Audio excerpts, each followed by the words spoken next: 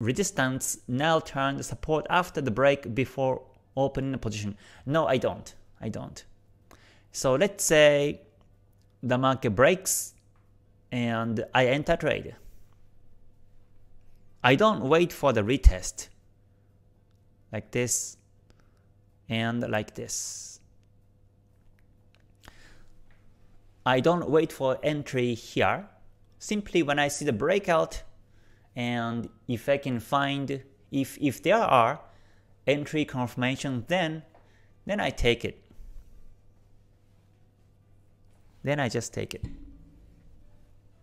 But it depends on when I come back to chart. So as you may know, I don't see charts all day, I don't see charts for hours. Simply, in this kind of condition, I don't monitor anymore, I close chart and just leave. And come back a couple of hours later and see if, if the market breaks.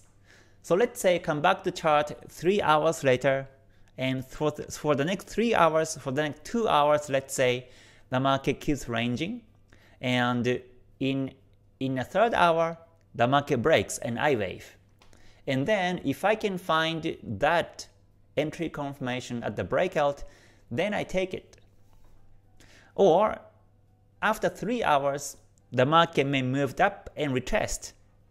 Then if I get the confirmation here, then I take the trade.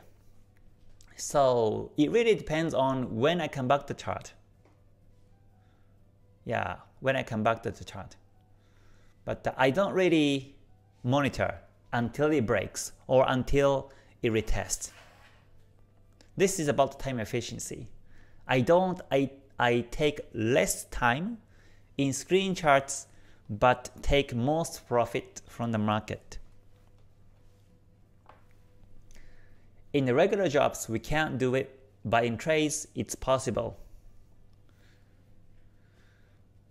So uh, yeah, so that's the Oh yeah, in in the 5 minute I can see divergence. Looks like the stochastics has been divergence. You can see the the highs are lower on the stochastics, but the highs on the candles are higher.